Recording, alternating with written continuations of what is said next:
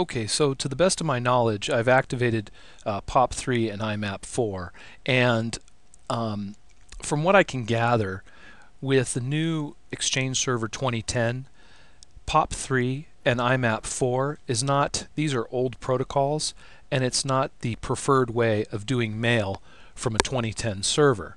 So these are legacy protocols that you could still do, but it's not going to work uh, as nicely and it's probably going to be not as secure for your Exchange server. But anyway, I have activated them just to show you how it works. And from the best of my knowledge, if you want to use them so that you can configure just an, a regular mail client outside of the domain, right, what you're going to need to do is you're going to need to go to your server configuration in your Microsoft Exchange console. You're going to go to um, client access. You're going to go to POP3. You're going to double click on it.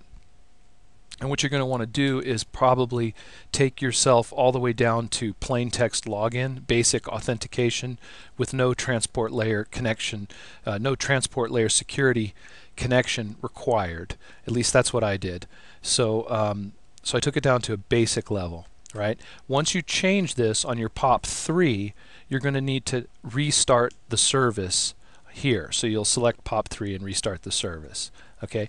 Then after that, you're going to want to go to your hub transport under your server configuration.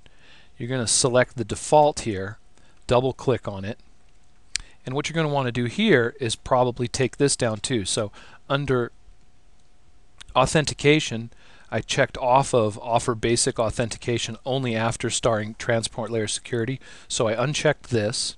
Okay and then under permission groups I added anonymous users okay so I've added anonymous users and I've unchecked offer basic authentication and now as you can see I can get mail from an outside client I'll demonstrate that from another computer okay so I've opened Windows Mail client I'm in a, a separate computer now running Vista and I want to test out my mail server that I set up at dansgames.com. So I've got just a generic, uh, this is Windows Mail or Windows Live Mail. You can download it for free from, um, from Microsoft. And so let's create an account and see if we can get this to work. And uh, it's not going to work, but I'll explain to you why in a second. Okay, so Tools, Accounts, and we're going to add a new account and we'll say next and we'll call this account um, Tracy and we'll put in the domain name here I mean the email address tracy at dansgames.com hit next. We'll put in our mail server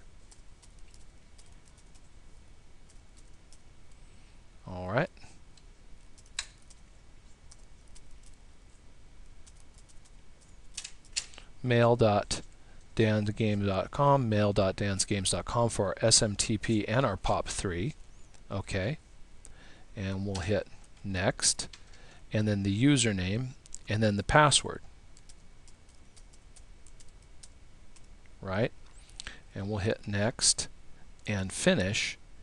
And it's going to try to connect to see if it's got some mail from mail.dansgames.com. Now, it's checking and trying to find the host right now and it's going to error out. Okay so we're going to get an error message eventually we'll see here. And the reason is okay now okay or we had a problem connecting all right? Um, my guess is that for one we opened up the ports or the ports are open on our server right? But the server is behind a router firewall. So you're going to have to set up port forwarding on your router firewall so that traffic coming in on port 25 will get to your mail server. So you're going to need to do that to your firewall device. Now, if you have a Linksys wireless router, you can um, set up port forwarding, or if you have a SonicWall uh, let's say firewall or you have a Cisco router, regardless, you're going to need to, at your router, uh, make sure that the port is open and port forwarding to your server. So I'm going to go do that now. Okay, this is a wireless router, but this is the type of router that you might see if you were um, needing to open up some ports so that they could access, let's say, your server. So um, this is not my router that I was using, but I just picked a router so I could show you. All these routers are fairly similar. This is a Linksys wireless router with a special operating system uh, firmware installed called DDWRT. So if we wanted to set up port forwarding, I was going to show you how we could do that. So let's see here. We'll go to um, access restrictions and we'll probably have to log in.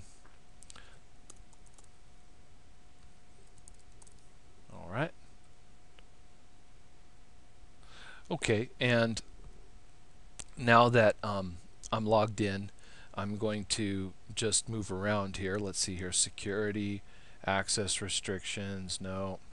Applications and gaming, I'm going to go to port forwarding and I'm going to say SMTP from port 25 TCP to the IP address that you want to contact.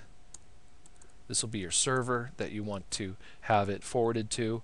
So uh, packets come in on port 25 TCP and they're going to we're going to send them to 192.168.1.254 on port 25 and enable and save. And if you wanted to add another one, we could do pop pop 3 let's say on port 110 TCP or you could put both if if your if your protocol uses both. SMTP actually can use both TCP and UDP but typically TCP so that's what I put. And I'll put port 110 here for POP3 and enable and save settings and then if I wanted to add let's say another secure um, POP3 I'd add and say POP3 SSL 995 TCP same thing. IP address of my server that I want to send it to, and then the port that it's going to come in on to the server, and hit Save Settings, Enable. And so now, packets destined for these ports will get forwarded through my router firewall and sent on to the server that knows how to respond to these requests, namely, in this case, mail.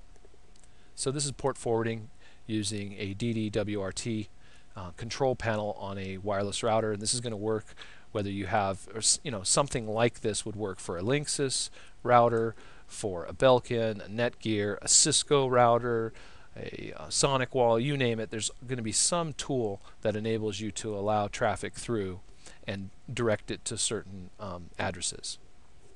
Alright, so I'm using this mail client. This is just a, a, Windows mail client. It's not associated with Outlook in any way, shape, or form, and I'm not logged on to the domain. I'm just a computer that's off domain, and I've got an account here called Tracy.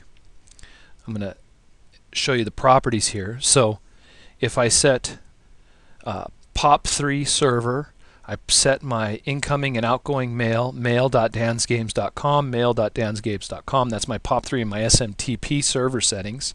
I put in my username and password. I'm not logging on I'm not re uh, requiring secure password authentication. I'm not requiring authentication for outgoing mail server.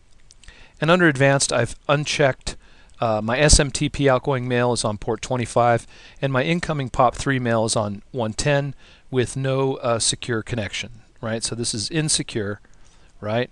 And click OK and close. And so now I could create mail, and I'll just create mail to myself. So I'm going to say to Tracy at dansgames or from Tracy at dansgames.com to Tracy at dansgames.com. Subject test three. Hello three and I can hit send. And now it goes to my outbox.